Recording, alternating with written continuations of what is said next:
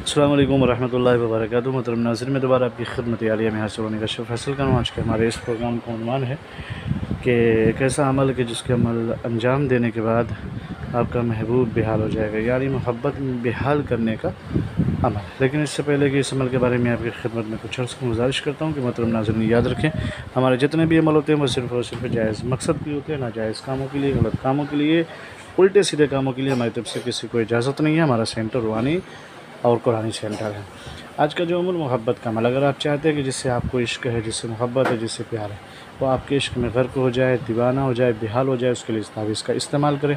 एक करना क्या है? सबसे पहले रूबा किबला होकर के नींबू ले लें और नींबू पर भी ये स्केच से या काले पेन से लेके पहले लिखेंगे चार, पाँच, तीन, फिर पाँच, फिर छः, फिर सात। इस तरीके से लिखें और जो लिखा है वो लिखें।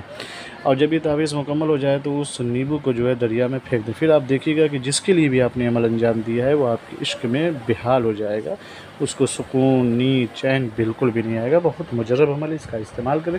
लेकिन सिर्फ़ और सिर्फ़ जायज़ मकसद के लिए, दिन, किसी भी दिन के लिए जमाली अमल है, कोई इसका साइड इफ़ेक्ट नहीं है। औरतें नापाकी की हालत में बिल्कुल भी इसका इस्तेमाल ना करें। इजाज़त के लिए शर्ती वाले कमेंट में जाके, या अल्लाह या मोहम्मद लिखें, हमारी तरफ़ से आपको इजाज़त मिल जाएगी। फिर मिलते हैं दोस्तों नशिस्त में। तब तक के लिए खुदा हाफ़ अल्लाह हाफ़ अल्लाम वरहमल वर्क